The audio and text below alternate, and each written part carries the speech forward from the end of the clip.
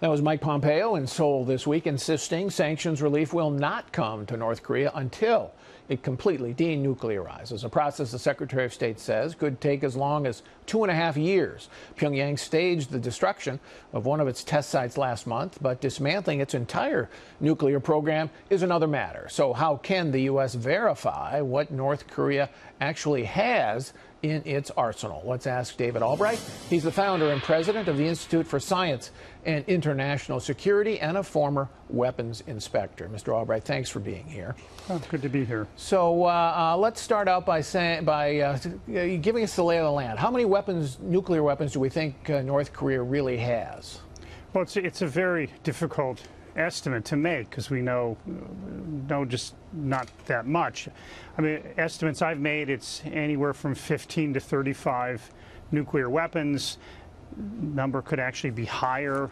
Um, if if they have more capability than than we're estimating. So it's a, it's very tough. But they they have you know a couple dozen nuclear weapons. Maybe you know there's a chance it's fewer. But again, it's uncertain. And, and the the problem is is that it's very hard to know where countries make nuclear weapons uh, and where they store them. So what we fall back to typically is trying to look at their capabilities to make plutonium and weapon grade uranium, and those facilities tend to be easier to understand and to inspect.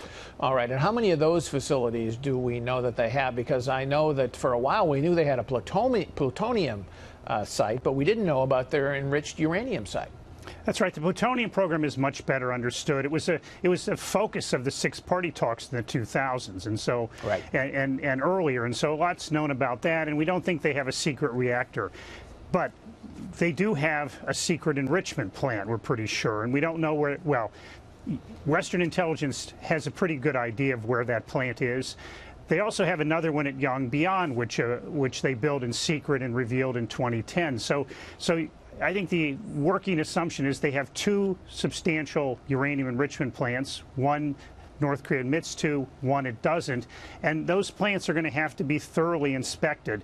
But, but before that, I mean, what you want in verification is for the country to reveal in an honest way what its nuclear capabilities are, and in this case, including its nuclear weapons production capabilities and its and the size of its nuclear arsenal. Right. So that that is that means that at a first step, what you want from North Korea is essentially a declaration, a list. Here's what we have in terms of our weapons, in terms of our sites for building those weapons, in terms of our sites for enriching uranium and plutonium, and so on and so on and so on. And you would and you would like that that the initial list could be almost just like a list but you would like them to allow visits to those sites so that inspectors can, in a sense, get the lay of the land. And, and these inspectors probably should not be the International Atomic Energy Agency. I mean, it probably should be an effort organized by the United States and its and its allies in the, in that region, including China. Uh, well, I mean, I call them an ally, but at least a, a friend right. and, on this issue.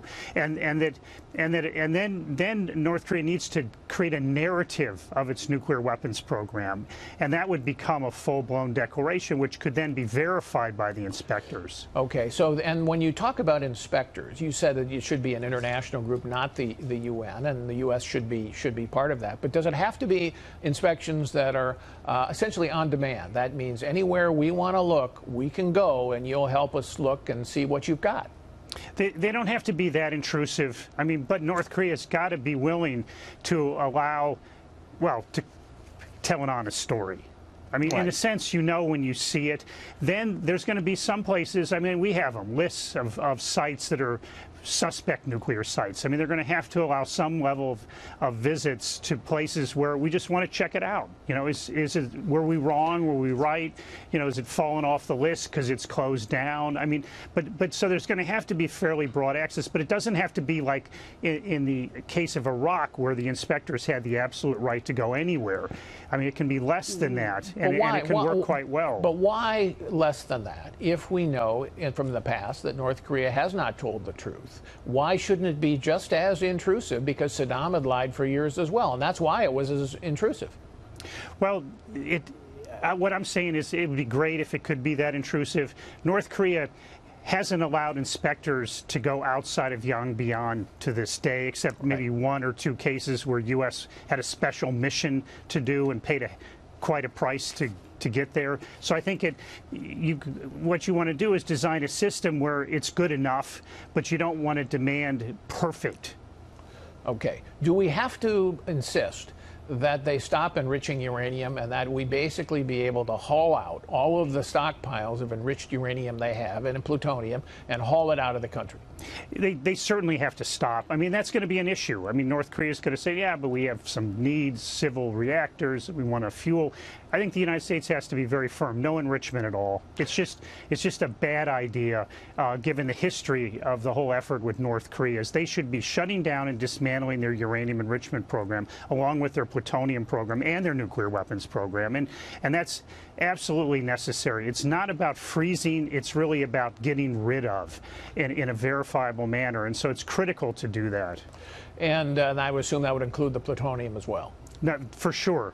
Um, they may keep a reactor operational that if somehow if it's making electricity, they may even import reactors, but they wouldn't be enriching uranium for those reactors. Those reactors would be structured or designed in a way that they're what we call very proliferation resistant. Um, and and but that that part of the peaceful nuclear energy program of North Korea has to be negotiated carefully. And really, we're I, I don't think we're even at that stage yet. Right. Thank, that's, that's fascinating. Thanks for the insight, uh, uh, Mr. Albright. I appreciate it.